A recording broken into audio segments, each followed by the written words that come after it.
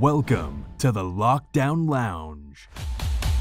One place in the world that you'd like to be right now, where would it be and why? I'm quite lucky that I'm with the people that, that are nearest to me at the moment. So um, Does that include us three on this call? You're close. no, no. Chris, this is your first time. Tell the world what you do. Okay, I'm just basically part of the design team at CWA. That's it, really.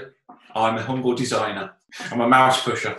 In terms of this time, how critical do you think getting the design work and the message bang on? Some people see design as sort of like a, a non-essential, you know, a luxury, nice to have, you know. But um, the, de- the type of design that we do, it's it's kind of all about communication, right? Because there's so many important messages that people are trying to communicate at the moment. You could argue that it's it's as important now as it ever has been. Take for example the little lectern messages that we see every day on the little government briefings. Without getting too nerdy about it, Here we Uh, go. hang on. Without getting too nerdy about it, um, you know, someone somewhere has thought about the colours, the fonts, the layouts of those. I, I kept seeing that these messages kept changing. They kept changing the design of it, and I was thinking, what, what are you doing? There's no consistency here. What are you playing at? And then I got around to the way of thinking that actually this must be a ploy. There must be some psychology behind this about you know kind of refreshing the message and to stop people just becoming blind to it. Um, but then, having said that, they then went into a period of just using the same thing for, for a couple of weeks. So I don't know. I'm back round to the, the way of thinking now of maybe it is just pure incompetence. I don't know. People making a lot of analogies uh, with you know the, the wartime spirit and that kind of thing, and, and it is kind of a similar thing. And you know, think of those sort of classic wartime posters, keep mum and you know dig for victory and you know Mm. careless talk and all those kind of things. Your country needs you.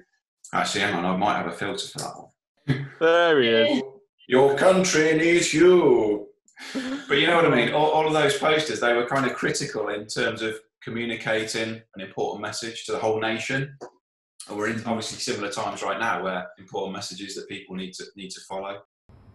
Sarah, just for new viewers that might not know, what's your role at CWA? I head up the PR division at CWA, helping clients with brand reputation, media relations, crisis comms. One thing that I think a lot of businesses will have potentially realised is we need somebody with a comms specialism and a comms understanding at board or director level to help with the decision making because when a crisis situation occurs and decisions need to be made quickly you need you need to move quickly. You send out a message internally to staff saying we're expecting to close 80% of operations for the next month for example.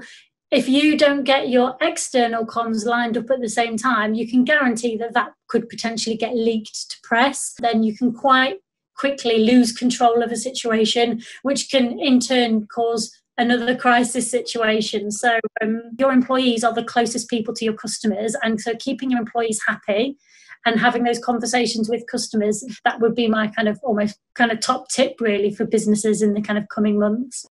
One of your biggest um, tools, I think, for keeping colleagues engaged at the moment is obviously your video filters. I've been trying to use a different one for every business call I've been making. Do you have a top three? Just go in at three. In at three. I mean, your classic is the potato. there was that famous example of the woman who became a potato on a on an important work call and then didn't know how to turn it off again, so she had to spend the whole meeting as a potato. Can we That was change it quite now? It's a bit weird. I love Um, it. I mean, you can be a pickle. The pickle's a good one. I like the pickle. uh, biro. The good thing about the biro is if I if I raise my eyebrows, it puts my nib in and out, as it were. So there you go. Yeah, I mean, it just mixes things up a bit. I mean, we're all having to do, you know, oodles of these video calls, obviously, so it just livens it up a bit. I found it quite interesting how uh, advertising has been completely turned on its head. Obviously, there's a lot of companies just just not advertising at all because they're shut down, but others the way that they're communicating is just completely different. For example, your supermarkets, they've obviously stopped being all about, you know, price or quality, that kind of thing. It's all about now how they've adapted to make it safer for you and that kind of thing. The screen is to help protect us and you. The best example that I've seen is um, Uber.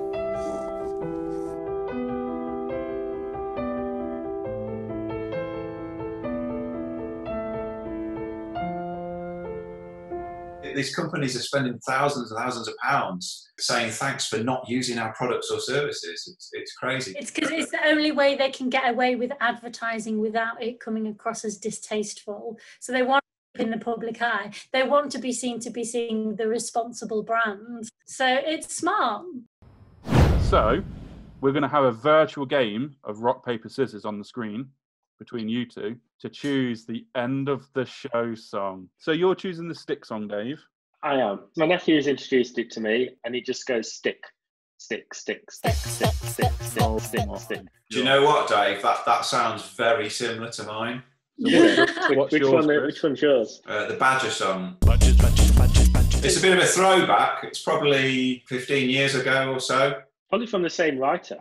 Yeah, well, but We have the stick song versus the badger song in the ultimate rock, paper, scissors. one, two, three. Oh, It's a draw. we go again. rock, paper, scissors, shoot. One, two, three.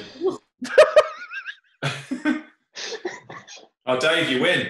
You win, I'm- Dave. Well done. I've never seen I've never seen such a slow rock paper scissors contest. In my head, it was going to go so much better. Sorry. But I guess it's the stick song. Badger,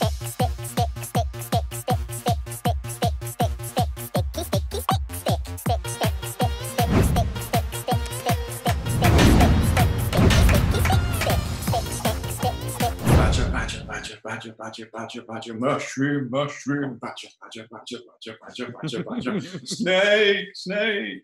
New episodes every Friday at 4 p.m.